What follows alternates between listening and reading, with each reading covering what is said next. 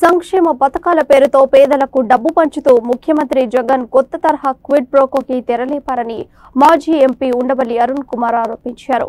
డబ్బు తీసుకున్న వాళ్ళంతా తనకే ఓటు వేస్తారన్న నమ్మకంతోనే ఈ పని చేస్తున్నారని వారు అన్నారు. ఒక ఆర్థిక క్రమశిక్షణ లేకుండా చేస్తున్న పనులకు రాష్ట్రం మూల్యం చెల్లించుకుంటోందని విమర్శించారు. సీఎం జగన్ ఓ వ్యాపారవేత్త అన్న ఉండవల్లి లాభాపేక్ష లేకుండా ఏ పని చేయరని వ్యాఖ్యానించారు. ఇవి చూసి ఓట్లేసేవాడు కూడా పెర్ క్యాపిటల్ ఇన్కమ్లు జీడిపీలు ఇవన్నీ అనవసరం. ఓట్ డైరెక్ట్గా వాటర్తో ఇప్పుడు ఇదిగో ప్రయోగం చేశాడు ఇప్పుడు. వాటర్తో డైరెక్ట్ జగన్. రోజు మీట నొక్కడమే. మనం చూస్తున్నాం కదా రోజున. మీట నొక్కడం అకౌంట్లో పడ్డాం. ఐదేళ్ళలో మినిమం ఒక్కొక్క లక్ష రూపాయలు నలభై లక్షల బెనిఫిషరీస్కి. అంటే ఇతనికి వచ్చిన ఓట్లు మొన్న కోటి యాభై ఏడో యాభై ఒకటో?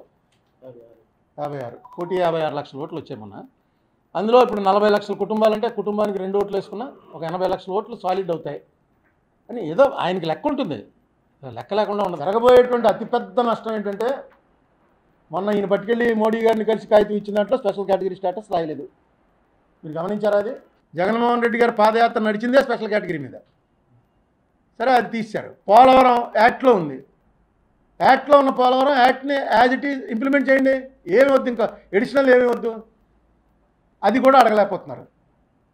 ఇక ఇంక మనం ఎవరు ఎవరైనా మన ఎవరో ఆదుకుంటారండి వచ్చి మనకు హక్కే మనం తెచ్చుకోలేకపోతే పోలవరం అన్నది హక్కు. Special category obligation. అది కూడా ఎవరు తెచ్చిపెట్టింది అది జైట్లీ వెంకయ్యనాయుడు. వీళ్ళిద్దరే కదా వాళ్ళు అందరూ లైవ్ చూశారు కదా.